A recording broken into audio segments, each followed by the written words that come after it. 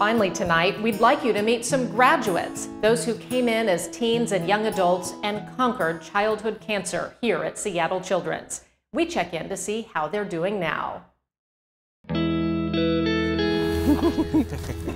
nice try. Oh, big rock. For Heather, life after cancer is filled with laughter. She's a mom and wife Good throw. seven years in remission from a pediatric form of non Hodgkin's lymphoma.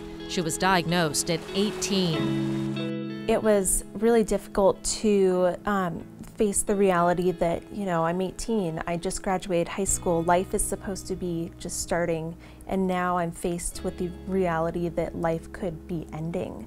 And so that's a kind of a tough pill to swallow at an age where you're not emotionally really capable.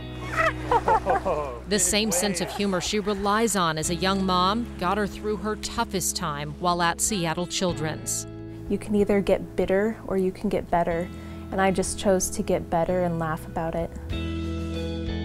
Thank you all so much for being here. Um, Heather and other young adult survivors share their experiences with others. You can start feeling really lonely as a patient, a young adult patient at a children's hospital. And so I used that social media. They tell how they coped while at Seattle Children's and how they cope as survivors today.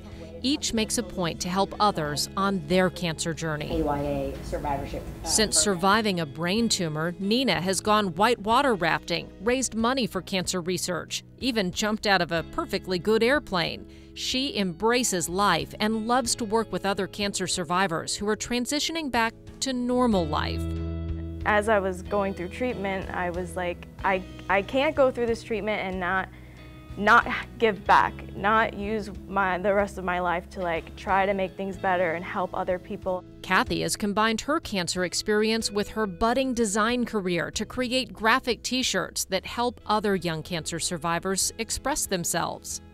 I've always been into fashion, and so for me to express the way I feel and um, who I am and my cancer through that uh, is feels great. It's for me to be able to combine the two things together, my passion and how I want to help everyone. You're pretty good at walking in the sand. Conquering childhood cancer just as they were making the transition into early adulthood has definitely shaped who these young women have become. As tough as it was, Heather wouldn't trade it. Things that would have totally ruined my day before my cancer diagnosis. Now, when something like that happens, I think, if this is the worst thing that happens to me today, it's been a good day. And to have that outlook on life at such an early age, I just think is so invaluable. No, you really love the water, huh? You want to get a kiss? Life is gorgeous and beautiful and amazing, and being a survivor is wonderful. Blow kisses. The majority of children, teens, and young adults do conquer childhood cancer, and the people here at Seattle Children's work hard to make that so. We would like to thank all of the patients, families, doctors, nurses, and staff who helped us take an inside look at the cancer care unit. Thank you for sharing this journey with us. And thank you for watching. To learn more about cancer care and research or to donate, go to seattlechildrens.org. Good night.